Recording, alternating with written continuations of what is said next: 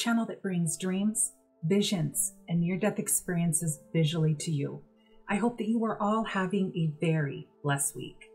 Before we get started in today's video, if you have had an urgent rapture dream, vision, tribulation dream, or even a near death experience, and would like to share it with the channel and have it made into a video just like this, please submit your video to cloud9blessings at gmail.com. In today's video, we are going to be looking at a submission that was emailed in by our dear sister in Christ, Nadia, where she wanted to share with us her six rapture dreams. I am so excited to see what she has experienced. So let's now take a look and see what she saw in her dreams. Okay, before I get started, I wanted to pull out old Bible, the Holy Bible. I'm reading um, Matthew 24, 44. And it says, Therefore be ye also ready, for in such an hour as ye think not the Son of Man cometh. So, that's true. We don't know when Jesus is coming. He just coming. Just a surprise. So the first thing I want to talk about is my first dream. My first dream is where um, I am with my my mother and my sisters. You know, my sisters, mom, my little brother, and we're dropping my sister JD off at our university, Albany State University. And we drop her off and we go to McDonald's near the Albany Mall. And the funny thing about it is, I'm literally walking through the drive-through, like you know, the car drives through the drive-through to go get your food. I'm walking through the drive-through, and I placed order. I'm like, I should know something was off. Then I'm like, why am I walking when the car is, you know, usable? So um, I'm walking. I got the food, and my sister Andy comes up to me, and you know, she's acting a little bit like a little younger sister who want to get her way. And she's kind of annoying me. I'm like, just you know, bro, like just leave me alone right now. And I remember holding the plastic cup, like the paper cup and the plastic bag, you know, the paper bag in my hand. And I can literally remember feeling the um the materials. And I'm near the McDonald's, you know, like next to Albany Mall and Dollar Tree. And the weird thing about it, the Dollar Tree is completely gone. The um Albany Mall um, parking lot is empty, and the McDonald's empty. I should know something was up then, something was wrong. And then next thing I know, my sister that we literally just dropped off in my dream, she's literally in the scene with us, and near us in, next to the car and she's screaming jesus! She screams so loud. I have never heard her vocally scream like that before. And next thing i know i look up in the sky. It's jesus and the angels. And they were all on horses. Jesus was in the front with the angels. And the lord had it to i was like able to zoom in to see. And it was so pretty. And my heart was like oh my gosh this is jesus. And then within that dream i was transported to my family's home. My my big my big family home, and where everybody like you know everybody comes together at the big family home, and we're at the door where the door is wide open. We're able to see through the door, and I'm looking up in the sky, and angels are zooming, like just zooming, getting people. And the thing that kind of gets us is that we were scared. We didn't know that we were gonna make it or not. We thought that we were gonna be left behind. I didn't know too much about the rapture. I always post about God and Jesus on my social medias, but the thing that got me, I'm like, I knew of the rapture, but I wasn't too much into the rapture. I just knew about God and Jesus and the Holy Spirit.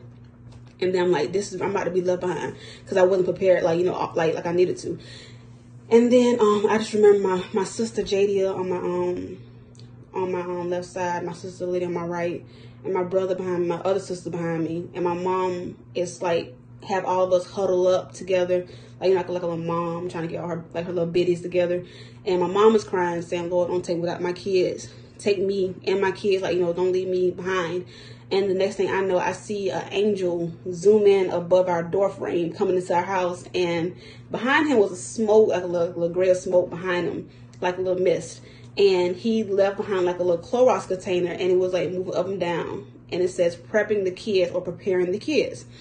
And I remember this angel was so pretty. He had golden hair, um, like a white male and um, he had golden hair, the color gold I have not seen on this earth. It was so bright. It's like it was a sun bright gold color. And I remember um, I was crying, I was frustrated. And while all this is going on, it's a song playing. And you know, on TikTok or social media on Facebook, sometimes they have snippet of songs. And this song was a snippet and it played in my dream. And to know from the Lord, I heard the whole song through because I never heard the whole song all you know you go to YouTube listen to the whole song. I've never heard this whole song until inside my dream, and every word played, and I was just crying like emotional, like what's going on, what's going on. And then I don't know where I felt like something wet touched my neck because the Clorox container is like you know Clorox container, and it put something in front of us, I guess to you know, for us to realize like a familiar object. We know what Clorox wipes are to clean. And it's like it was preparing to clean our bodies, but I remember something wet touched my neck and I woke up out of my dream, freaking out, like, what happened? What happened? What happened? So after that happened, I'm like, okay, I just had my first dream and I don't know what to do too much. So the next dream, I am my mother is dropping my sister and I off at a university that I have never been to. I don't I've never seen this nowhere ever. And we're wearing the school colors and as we get out the car, um, she dropped us off at the front part of the university. And our cousins on my dad's side, um, you know, they showed up and there's some cousins like, you know, they act a little funny toward us. Um, and I don't know their names or anything like that. They just say, you know, they don't really don't speak to us too much.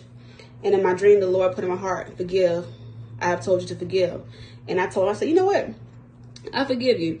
And like, we're sorry too, you know, we're sorry. And I'm like, you know, I forgive you, I forgive you. And they get in my car, my mom, and I'm like, Mom, are you okay to be with them? She's like, I'm fine, y'all go in, y'all go in. So we go into the um university and it kind of reminded like the first day of school, my sister like she has a backpack on. I'm like in inside like an elementary school.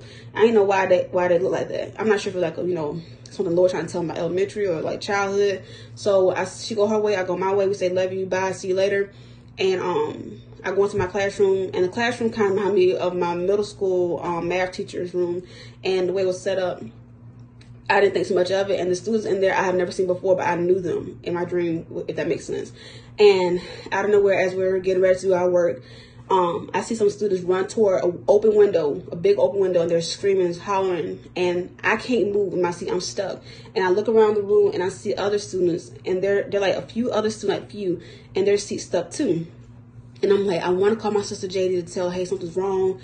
Um, the world is like, it's going crazy. Everybody going crazy. And then out of nowhere, my head hits the table. I black out. And I can't see anything, but I can still hear. And I remember um, one of my classmates say maybe these are the students that the Lord was going to take with him in the rapture. I said, okay, okay. That that freaked me out. So after that, I literally started looking at rapture dreams, and I went. I found Crystal, found your page, Crystal, and I started looking at all your videos. And It was really cool. And yeah, that's last night. That's my second dream. My third dream was when um I was in my room. As I'm in my room, no, the, the, the, the funny thing about the Lord, He is so good. He your your your surroundings in my dream. I the same way I went to sleep is the same. I woke, I woke up with my rapture dream. I had my phone beside my body pillow, everything was in place. My room, not one thing out of place. Even my, my clothes piled up on, over there on the other side of my room. Everything was in place.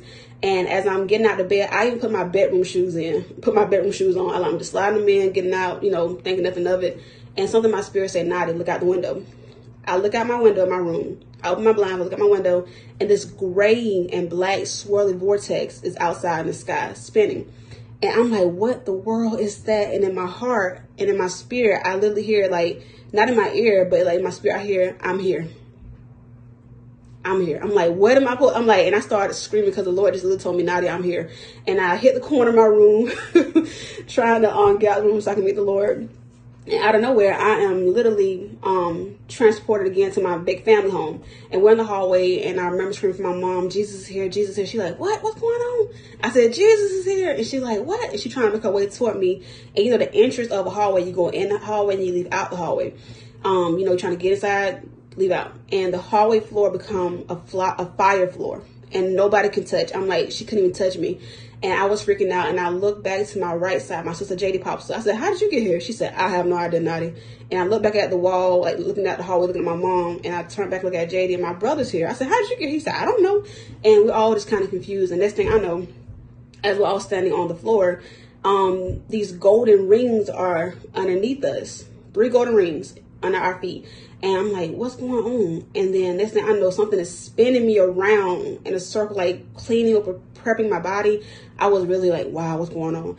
And it's like, the only thing I know, I'm looking at my siblings and they're standing like at, at stand, like they're looking straight ahead, like with straight face. I'm like, maybe the angel was doing the same thing to them, but I couldn't see it. I don't know. The only thing I know is I was pretty excited. and then um the next thing I know is that the golden ring gets brighter. Like a golden yellow ring underneath us gets brighter and brighter. And we are being lifted up to the sky, like to the um ceiling. As we're being lifted to the ceiling, my brother like, Nadia, we're going home, we're going home. I'm like, yeah, I'm so happy. My sister Jade, like, you know, like tear, like, you know, you can see like real tears, like we're, we're about to leave this horrible world behind and go with the Lord. And as we're about to hit the ceiling, our head about to hit the ceiling, um, we get placed back down. And nothing in our mind was like, oh, we got left behind or we didn't make it. It was just like an exciting moment. Like, hey, you know, we experienced it. So I'm running my mom and I tell her, I said, hey, mama, you know, the Lord let us be like lifted up so we can, you know, like, you know, experience the rapture and everything. And she's like, oh, that's good. And we are trying to tell our dad, but he was mad. He had an attitude. he had an attitude. He didn't want to listen. But, you know, it is what it is at that point. And um, that was my dream, my um, my third dream. Um, my fourth dream is when um I was at the um I was at my big family house again. It's a lot of dreams. I'm trying to get everything straight. I was at my big family house again, and we were having an event. And as we was at the event, I remember I heard the horns again, these loud trumpet horns, and I automatically grabbed my cell phone. As I'm looking at my cell phone, I told myself I want to remember the day, the time, the second that Jesus came. I, have been doing that for a while. I want to, I want to remember this time and I got my phone. My phone is my phone. I have the same that um, background cover, the same that phone model. It was the same phone case. Everything was mine. And I run outside down the steps and I look up in the sky. I'm like, I look in the sky. I'm like, where is Jesus? I'm like, I don't see him. And the dream blacks out. So I'm like, great. The dream blacks out. And then my fifth dream, I was in the room with my mom, my sister, and we're in the room just chilling, relaxing, you know, having a good time. You know, like you know, just spend time with your mom, your sisters. And then out of nowhere, we hear the horns again. And for the first time, like, it's like the first time happening because, like, I wasn't aware that I had miniature rapture dream, other rapture dreams. So we heard the horn. We run in, in the corner, trying to get out of the room, trying to get outside. And I'm automatically transported again to my big family house. I think something behind that, you know. So we walking down the steps, my sister and I, and we looking up at the sky. We see Jesus this time, and I'm like, yes, Jesus, yes. And we're like, Lord, you're here, you're here. We're praising the Lord. We're so happy. And the Lord snapped his fingers and the, a little cloud came down to meet us at our feet. And within a millimeter of a second, the tiniest second, it goes away. We did something. And we're like, Lord, forgive us, forgive us. Like, I forgot what we did. I'm not sure if it was over procrastinating or, you know, whatever was doing.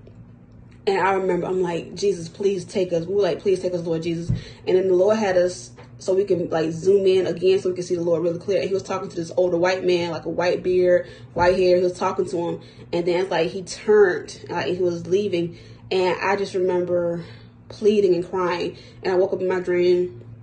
And I'm like, I got a lot to do. Probably the Lord's trying to tell me something. I'm not sure what's going on. I was just freaking out. Then my last dream, which my sixth dream, I remember um I was outside, like in the field, but it's like it was a yard. I'm not sure how to describe it. It was kind of confusing. I was outside with my sister Jadia, and I don't know where people are running and screaming and hollering, and they're looking up in the sky. In the sky, it's a lion in the clouds walking in the clouds. And people are frightened, and I'm like, y'all don't know who that is? Just the lion of Judah. I'm like, that's Jesus, that's Jesus. And we hit the floor, we hit the ground. We hit, yeah, we hit the floor, we hit the ground um, without even thinking. We did not even say a word. We just bowed down. We hit the floor. We hit the ground. And there was some other people around us that um, hit the ground too. There was no question about it. Other people were like about to freaking stampede over us because they were trying to get out of the way because they were scared. But we knew in our heart, we knew in our hearts that that was Jesus. And like, that was amazing. And then um, soon the Lord had it to where we were transported in this room, like this waiting room. And we all had like little beepers, like, like in the 90s and 80s, they had these little beepers and everything and people people start turning green and i'm like jesus what about me? What about me? And then my beeper turned green. And then the lord was t- um there was some angels like some big angels in charge telling us like hey y'all we're giving y'all a chance to prep. Like you know like get y'all family members and friends ready. You know what's about to happen? Y'all not gonna be here. And we know in real like reality in real life that the Lord, He's going to come quick, and we're not going to have time to prepare our family and friends and other people around us when He does come. So I guess like this was like a, a dream for preparation. I'm not sure. Dream preparation. Okay, um, and then um, the next thing I know, um, my sister and I go back home, and we're talking to my mom, my little brother, and they're crying, and my other sisters, they're crying too. And like y'all, I'm going to tell you as much as I can, which I, I've already told y'all about Revelation, but I'm trying to tell you about the Antichrist, the mark of the beast, the um the creatures, the um the famine, the, the um the sun scorching, like all this stuff, like people are literally trying to survive till Jesus come back again. Um, and I was trying to tell them, and they were just crying. And next thing my mom tells me, "Nah, you're gonna have to tell your dad that this is y'all about to leave us. So next thing I know, I'm transported again in my dream, and we're going. My dad and I are, you know, in the car talking and drive. He's driving somewhere. I say, Dad, I'm not gonna be here no more. I just want to tell you. I told Mom and them, and I told him the same thing. I think he didn't understand. I was telling him, even though I was telling him that I'm about to be raptured up. And then I get back to the house again, and within a second, the angel came and got JD. And JD was my sister JD. She ready to go. She just left. But then my brother came up to me, my little brother, and he was hu- hugging my like my waist and crying. And I remember telling him like, Mike, you know, I love you, and everything's gonna be okay. I'm to try to be with you as much as I can, you know, like watching over you in heaven. Um, but I say, you know, I can only do so much. And in my mind, I had to realize when I woke up that it was nothing. He's in God's hands now. I can't do anything. Um, it's not. It's not my control. It's never. It never was my control, and it's not my control now. So he's in the Lord's hands. And then within the dream, also, I remember my cousin texting me on Messenger and asked me, Nada, are you still here? And I'm like, hmm, am I still here? So they knew that this was going on. The world going crazy. Like a preparation, like people knew that, hey, family members were leaving. Their family members were leaving for them and they prepared them. And I'm like, yeah, I'm about to go and, you know, I, you know, hopefully I pray I see y'all later in heaven. But, um, yeah, those are my dreams. And it was really, really interesting. I'm not trying to hold y'all long at all. I want to read one more thing, and it's from um, 1 Corinthians. Where are you at? There you go. 1 Corinthians. 1 Corinthians 6, 9 through 10. And it talks about the people. Um, a lot of times we like to think like, hey, everybody's gonna make it because you're a good person. That's not true. Um, the Lord does have rules that we have to follow, and these people, these certain people, will not inherit the kingdom of God. Again, this is 1 Corinthians 6, 9 through 10. And it says, Know ye not that the right that the unrighteous shall not inherit the kingdom of God? Be not deceived, neither fornicators nor idolaters, neither uh, neither fornicators nor um, idolaters or adulterers, nor affectionates, nor abusers of themselves with mankind, neither thieves nor covetous, nor drunkards, nor revilers, nor extortioners shall inherit the kingdom of God that is something to literally pray and meditate about because a lot of us are not prepared and ready for that. We have to do like a, a check within our hearts and to see, hey, am I one of these people that will be left behind because of my way I the way I carry myself? And then the last thing I want to leave y'all with is Revelation 22. 19, um, 20 through 21. And this kind of makes me cry. I have read Revelation five times, and each time I read it, something always new revealed to me. But this this is the last this is the last part of the Bible, the last Whew. Okay, 20 says, He which testeth testifies these things saith, Surely I come quickly. Amen. Even so, come Lord Jesus. The grace of our Lord Jesus Christ be with you all. Amen. So much, Sister Nadia, for sharing these powerful rapture dreams you experienced, all six of them. Many things stood out to me with all of them, but one specific was seeing the Lord as a lion and him being in the sky. How beautiful is that? And being able to feel yourself being transformed. I look forward to the day when we can all meet the Lord in the air. And it is so very exciting, brothers and sisters. Many are having dreams in these end times, and it has been prophesied in Acts 2:17 that many would have dreams and prophesy. And it is so exciting to know that we are that blessed generation that will see the Lord return in the air. Thank you so much again, Sister Nadia. Her channel information is in the description box, so please subscribe to her channel in case she creates more videos sharing more dreams that she has. May God bless you all, family. Thank you so much for taking the time to watch this video today. I truly hope that it blesses each and every one of you. May God bless you all.